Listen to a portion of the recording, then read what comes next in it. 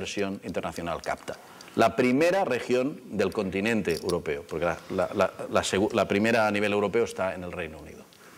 Tanto, ¿quién puede decir que eh, el soberanismo o la independencia asusta? Es lo contrario, porque los inversores saben que todos los países en el momento de empezar la independencia, por un tema de la cantidad de nuevas infraestructuras, nuevas, uh, estructuras de Estado, por la ilusión colectiva que se genera, son países que tienen un crecimiento muy superior a la media. Por lo tanto, es un magnífico lugar y ya los inversores extranjeros están tomando posiciones en Cataluña uh, en previsión. Por lo tanto, es justo lo contrario. Justo lo contrario. Lógicamente, hay uh, empresarios que lo único que son son voceros de, del Estado español, ¿eh? que bla, bla, bla, bla, bla, bla, dicen que se van a ir como el señor Lara. Si el señor Lara se va, habrá 10 editoriales luchando por ocupar su puesto. Y seguramente lo harán mucho mejor. Y además el señor Lara es una excepción. ¿eh? La mayoría, a pesar de las fuertes presiones del Estado español, del gobierno de España, la mayoría de empresarios o no han dicho nada o en algunos casos han dado apoyo. Porque ha habido más empresarios que han dado apoyo. Un ejemplo concreto, Fluidra, una gran empresa catalana que exporta a todo el mundo, que se ha manifestado abiertamente a, favor del Estado catalán. Por lo tanto, no es cierto, simplemente no es cierto eh, que un Estado catalán ahuyente las inversiones. Las incrementará, de hecho lo está haciendo ya. De hecho lo está haciendo ya en proceso. Al hilo de esto que se acaba de comentar, esto puede traer problemas porque en el caso de que Cataluña sea independiente podría salir de lo que sería la, la, Unión Europea por los posibles vetos que España podría poner políticamente y entonces salir de la Comunidad Económica Europea. Entonces tendríamos aranceles, que entonces esto sí que podría afectar a la economía de Cataluña. ¿Cómo crees que podría? Buena, buena pregunta, buena pregunta. Bueno, primero, salir de la Unión Europea no significa tener aranceles. ¿eh? hay muchos países fuera de la Unión Europea que comercian abiertamente con uh, Europa. Suiza, Noruega, son grandes ejemplos, y no les va mal del todo, no les va mal del todo. Uh, tenemos centenares de multinacionales europeas en Cataluña, por tanto, no se le ocurre a nadie que se vayan a poner aranceles. Primero, porque Cataluña no los va a poner. Entonces, ¿quién los pondría? ¿Francia? No lo creo. ¿España? Quizá. Si España vetara el ingreso de Cataluña en la Unión Europea, esto sería actuar de mala fe. Sería actuar de mala fe. Si España actúa de mala fe, tiene consecuencias. Porque en la negociación, en la negociación posterior a la declaración de independencia, tenemos que negociar qué parte de la deuda de la cual el Reino de España es titular, del famoso billón de euros, asume Cataluña. Pero Cataluña asumirá una parte negociada de esta deuda en una negociación en buena fe. En una negociación en mala fe no.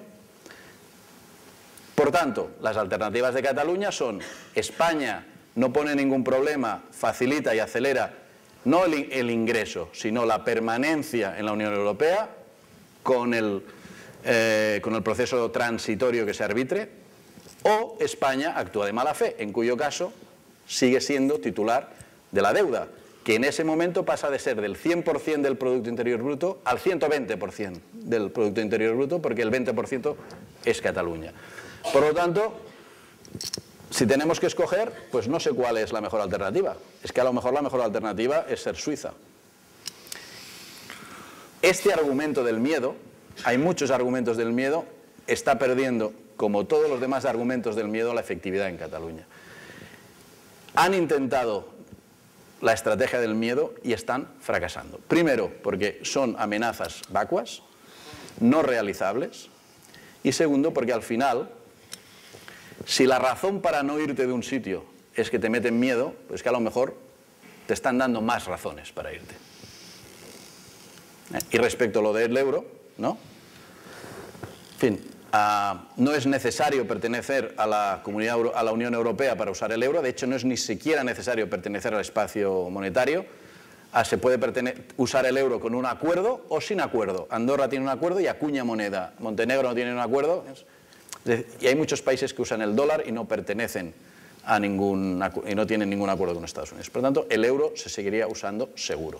¿eh? En fin, son amenazas vacuas y realizables. No nos dan miedo. A ver, esta es una pregunta muy interesante. Realmente pensamos que no existe ninguna, casi ninguna posibilidad porque España no es completamente independiente desde un punto de vista militar, está integrada dentro de la OTAN. El precio que pagaría España en caso de tomar una decisión tan absurda como esta sería altísimo. La propia población del Estado español se, rebelaría contra, contra, los gobernantes que tomaran esta decisión, pero las consecuencias serían nefastas. España pasaría a ser un Estado paria, el rey como ah, comandante en jefe de las Fuerzas Armadas pasaría a ser repudiado por la comunidad internacional, pero podría ser, podría ser. No cabe descartar al 100% la posibilidad de que alguna locura se cometiera. Al fin de cuentas, la respuesta definitiva a esto es si realmente existe una pequeña posibilidad de que el Estado español actúe militarmente como Cataluña, como padre de tres hijos, esto es una grandísima razón para irse de España. Si es un Estado que amenaza militarmente, es una, razón muy, muy poderosa para abandonar este Estado. No puedes permanecer en un sitio por amenazas. No lo puede. Tenemos que enfrentar con valentía esta posibilidad. Y además es que pensamos que no pasará. No pasará porque por la OTAN y por las consecuencias desastrosas que tendría para la propia población española una decisión absurda como esta. Quizás ahondar un poco en, las dos anteriores preguntas que se han hecho. Eh, soy, desde luego, consciente de que, eh, Cataluña, Euskadi, Euskal Herria y, y, yo creo que muchas otras regiones actuales del Estado español tienen más posibilidad de tener recorrido en el futuro, eh, entre otras cosas porque es que no lo tiene el propio Estado español. Creo, además, que siempre hay algunas incertidumbres, pero que merece la pena, como el caso ahora que se ha comentado de los tanques, que merece la pena arriesgarse, porque la alternativa, desde luego, no es alentadora ¿eh? y además eh, eh, viene de lejos. Yo creo que la, primera parte de la exposición que has hecho, has comentado quizás la cultura española, la cultura de cómo se hacen las cosas, y eso no ha cambiado. No, no es el ejemplo de los últimos 100 años, yo creo que viene de bastante antes. Y agarrándome a esa cultura, esa cultura de la negación, esa cultura de bueno, eh, de que e-, ellos tienen el derecho y los demás solo somos provincias ¿eh? Eh, españolas con el derecho que pueda tener la provincia como tal y poco más,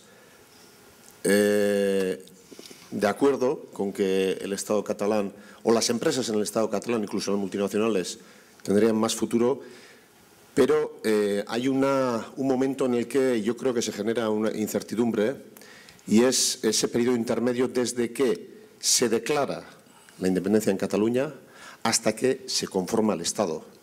Un periodo en el que se tiene que iniciar ¿eh? un periodo de negociación, se tiene que dar una negociación, un periodo ¿eh? que eh, en países como Canadá, el Tribunal Supremo canadiense dejó muy claro que aunque en la propia Constitución canadiense eh, Quebec no tenía derecho de autodeterminación. Si la mayoría de los quebecuas así lo decían, el, eh, gobierno canadiense estaba obligado a negociar ese proceso que se generaba. La cuestión es que la mentalidad española no es la canadiense.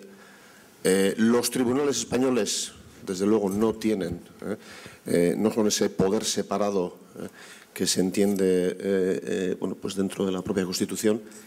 Y, por lo tanto, ¿qué es lo que pasa si eh, en el momento en el que se da esa declaración de independencia el Estado español dice pues yo no me siento y eh, en ese periodo intermedio quizás sí se generan unas incertidumbres que desde luego yo creo que no beneficia a nadie.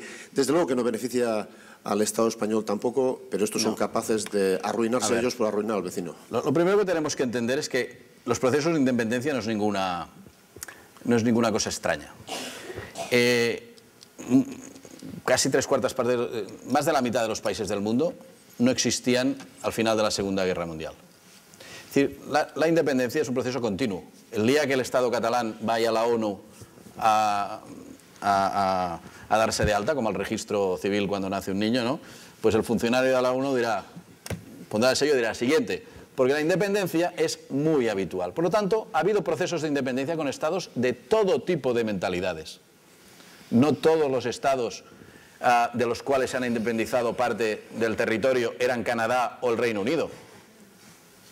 Por lo tanto, Cataluña quizá no tiene al otro lado de la mesa el Estado más abierto con una calidad democrática, pero la mayoría de países que se han independizado lo han tenido peor.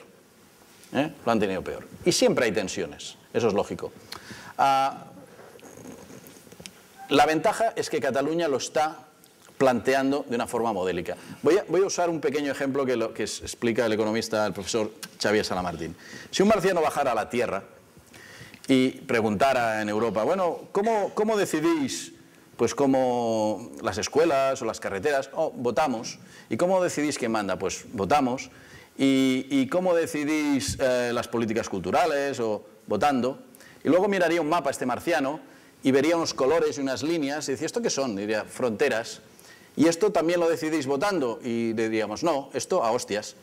Porque, porque la inmensa mayoría de fronteras en el mundo se han dibujado a hostias. Cuando en el mundo, en la comunidad internacional, un pueblo pacíficamente, democráticamente, plantea que quiere establecerse como un Estado propio, el mundo no se puede permitir darle la espalda, porque solo hay dos alternativas, la vía pacífica y democracia o las hostias.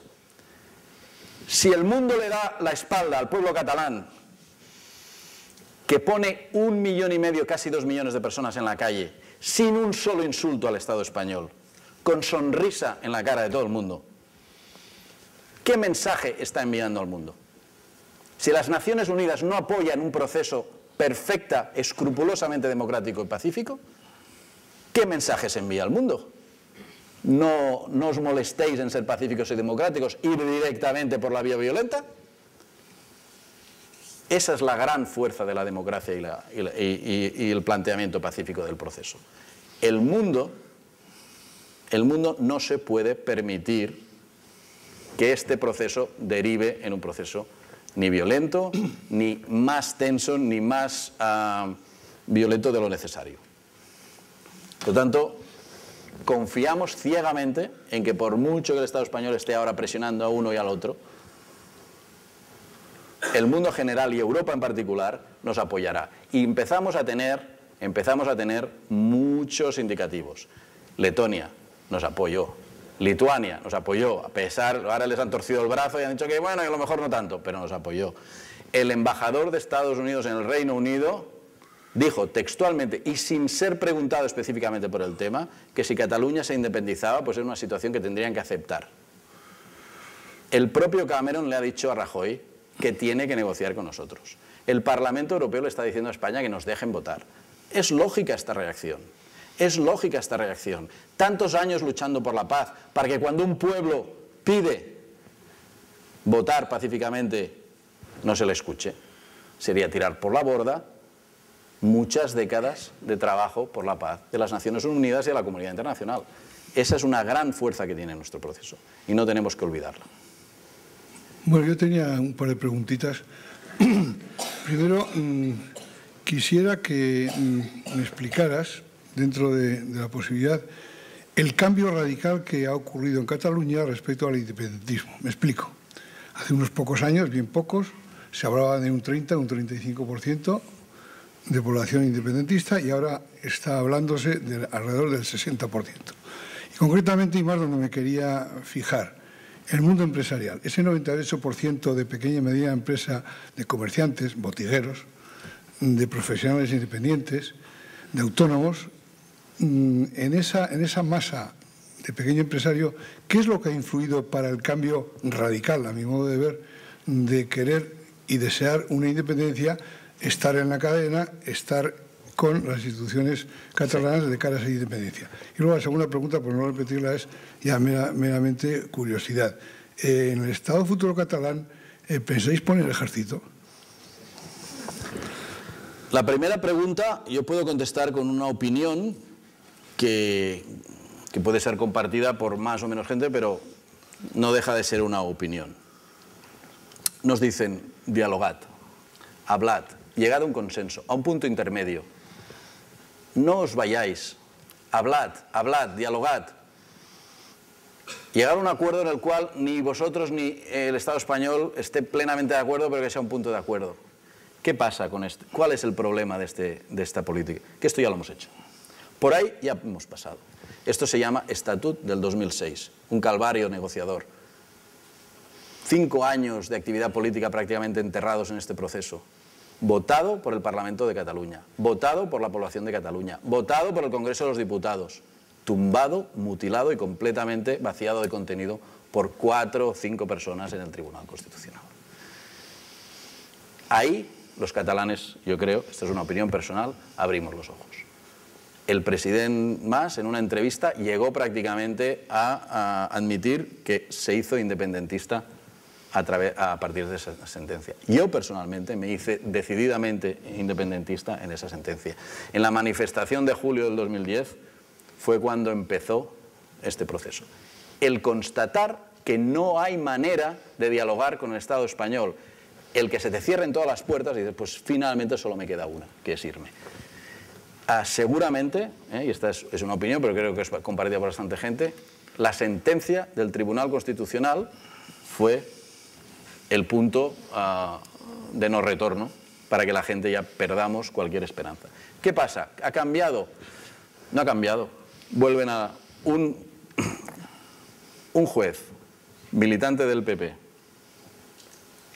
que ha declarado públicamente que la educación en Cataluña adoctrina, se ha ratificado como imparcial como presidente del Tribunal Constitucional. En fin, es decir, siguen igual.